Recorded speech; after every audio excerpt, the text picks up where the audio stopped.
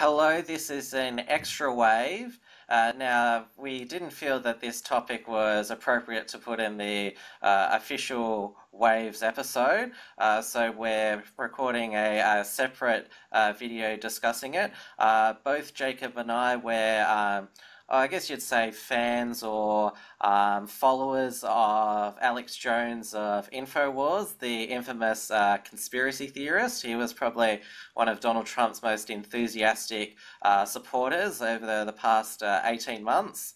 And probably one of his, uh, in my opinion, hilarious conspiracy theories has just resurfaced, which is that uh, Michelle Obama is a man uh, not just that, but uh, the Obamas uh, killed Joan Rivers because uh, she revealed the truth about them uh, just a month before she died. And Alex Jones was back this week with shock new footage, which uh, showed a big bulge in Michelle Obama's pants when she was coming out of a, a building. and so we thought we'd explore the plausibility of this conspiracy theory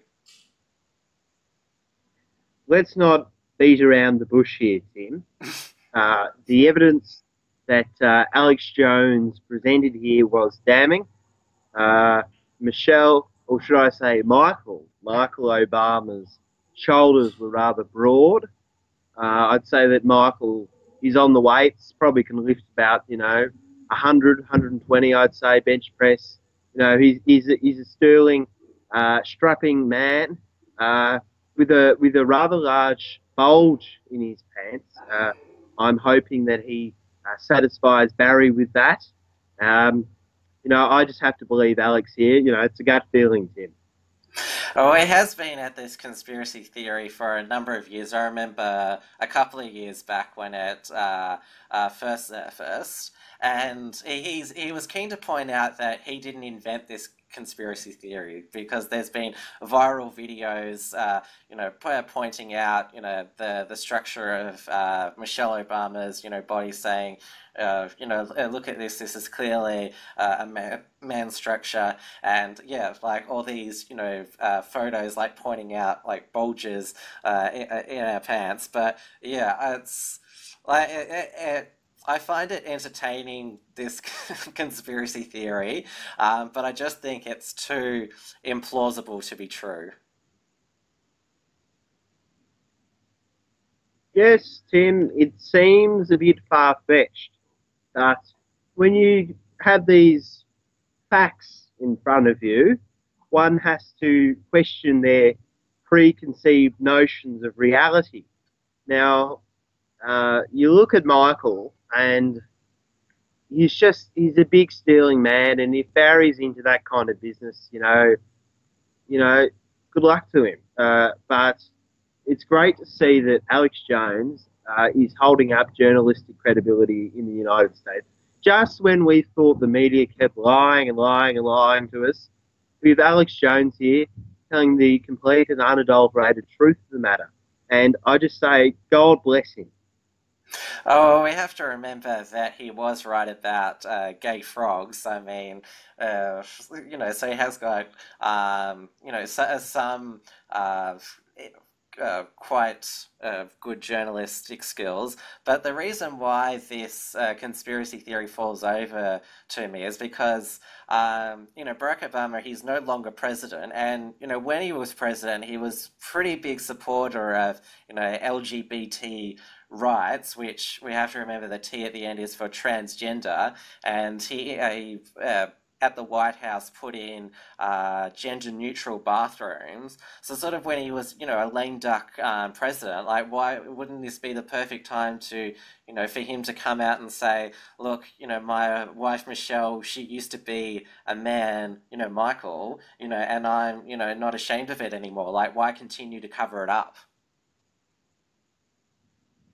Well, well, it's an interesting one, Tim I think it's clear that the toilets uh, were put into the White House to make Michael feel more comfortable, you know, with where he stands.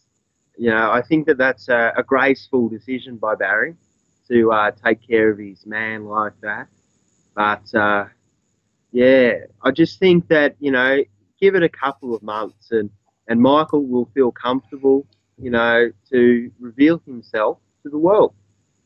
You know, and I think that the world will be accepting of Barry and Michael. You know, we've had a bit of a progressive twist here, and you know, the world's open to this kind of thing.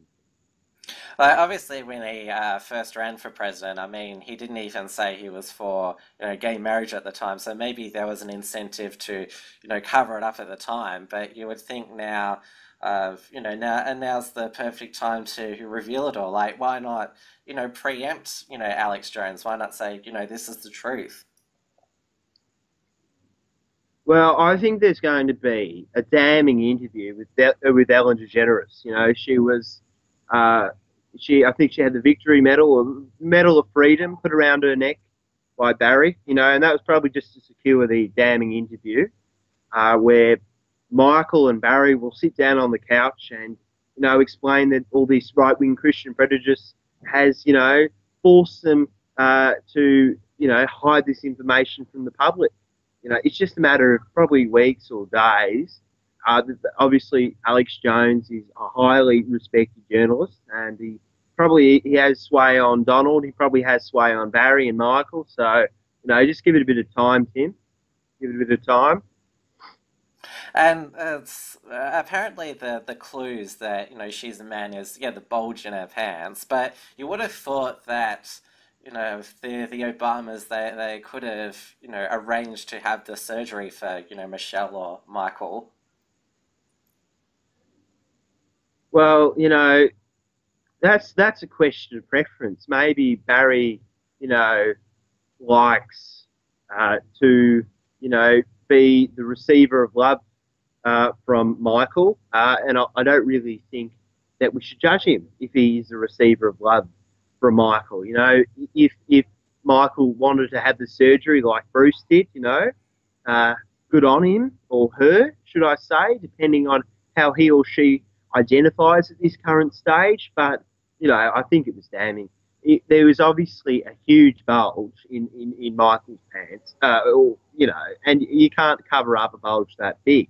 So, what can you do? Uh, and of course, the other part of the conspiracy theories is that they killed Joan Rivers because a month before she she said to uh, it was a doorstop interview. She was going into a building. Like a reporter asked, "Do you think we'll have the first you know woman president or first gay president?" She said, "Well, we already do with you know Obama." And it like said, "You know, you know Michelle uh, is a is a tranny," and people and she delivered it in this like deadpan way, like it didn't seem like a joke. And it's like and, and then she said at the end, uh, you know, we all know it's okay.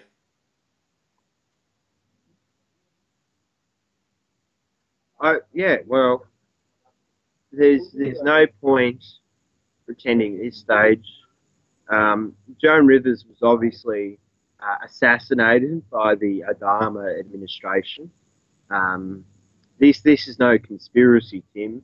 Uh, this is probably the most a serious uh, assassination of a well-known public figure since the days of uh, John Fitzgerald Kennedy, uh, and I think the public deserves to know the truth. So we need to have a, um, a congressional commission. Do you think? Yes, I think that we do. Uh, honestly, uh, because when stuff like this happens, uh, to hide it from you know, the public at large, uh, just, you know, it, what it does is it creates distrust with the government and public institutions, and they deserve to know that Joan Rivers was brutally murdered.